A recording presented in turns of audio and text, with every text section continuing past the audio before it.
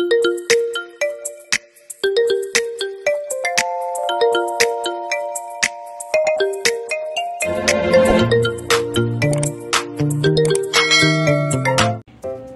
guys! Welcome to my vlog! Andito na naman po tayo.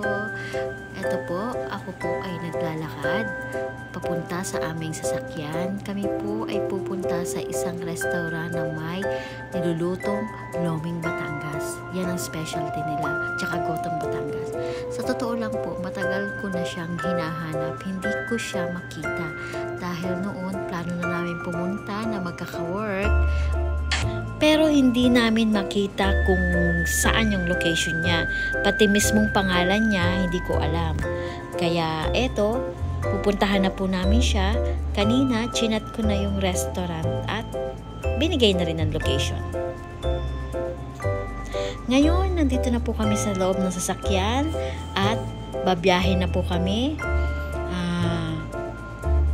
First time namin pupuntahan ang restaurant na yon dahil syempre taga Batangas ako. Kaya gustong gusto kong mapuntahan at matikman ang luto nila na Loming Batangas. At eto guys, nabiyahe na po kami. Nagbibideo nga ako, hindi ko alam na malapit lang pala yun dito sa tinitirhan namin bahay. Dahil dito lang po yan sa may Raka. Kaya habang bumabiyahe kami, nagulat ako, andito na pala kami. At yan, nandito na po kami. Akala ko malayo pa. Pero ito nga po, nandito na kami sa loob at handa na kaming umorder. Meron silang medium na ang halaga ay 15 SR at ang large ay ang halaga ay 20 SR. Kaya ang in-order namin, medium tsaka large. Natawa pa nga ang waiter nung, nung binigay niya ang order namin kasi ang binigay niya sa akin yung medium at ang binigay sa kasama ko yung large. Sabi ko, kuya, baliktad sa akin ang large. Natawa siya. Siguro kala niya hindi ko mauubos ang large na Loming Batangas. Eh, syempre, Batanggenya ako. Kaya, ayan. Mauubos ko talaga yung loming yan, yung bowl na yan. Alam niyo po ko guys, napakadaming lahok nitong lomi na to.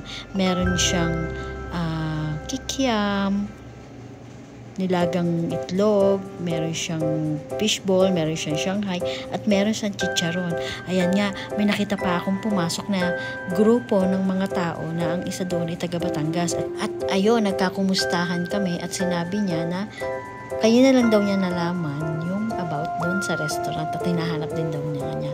Kaya ayan, kita nyo guys, mauubos ko na yung kinakain kong isang bowl. Napakadami po niya. Sa totoo lang, pag nakakain po kayo niyan, sulit na sulit at busog na busog na po kayo. Kaya guys, try nyo na rin tikman yung lomi dito sa Pinoy restaurant. Ayan guys, kitang-kita nyo naman, simot na simot ang isang bowl ko ng lomi. Talagang napakasarap po niya at sulit na sulit po. At ayun po yung mga taong nakasabay namin na kumain doon na hinahanap din daw nila yung restaurant. Yan po pala yung pangalan ng restaurant, Pinoy Restaurant. At kung sa location yung makikita, nakalagay doon ay C-Bar. Kaya guys, arat na. Puntahan nyo na rin po at dalawin ang restaurant na to. At itry ang kanilang masarap na Lomi Batangas, Gotong Batangas at ang chami nila. At meron din po sila doong mga combo meals. Meron ding mga rice, meron ding iba't ibang klaseng ulam, at merong mga gulay. Kaya tara na, arat na guys!